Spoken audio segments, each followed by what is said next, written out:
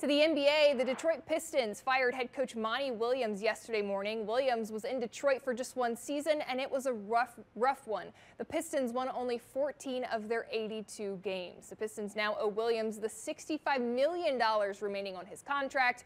Of course, he spent time here in New Orleans from 2010 to 2015, coaching the Hornets and the Pelicans.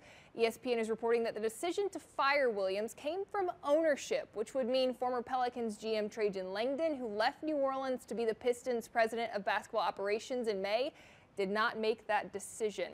And of course, with another head coaching vacancy, Pelicans James Borrego is mentioned once again as a potential replacement for Williams in Detroit. Yahoo Sports is reporting that Borrego will be strongly considered in the Pistons hiring process. Another Pelican staffer already left for Detroit when Fred Vinson was hired to join the Pistons staff last week. Vinson had been here in New Orleans with the franchise for 14 years. Christian Clark, who covers the Pelicans for NOLA.com, put into perspective how big of a loss Vinson is for the team.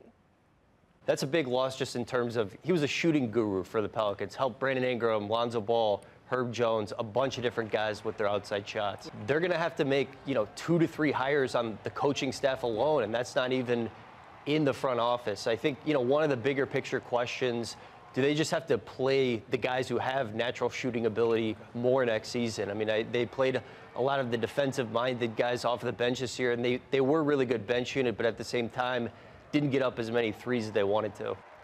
That's going to do it for a look at sports. Hope you enjoy the rest of your Thursday.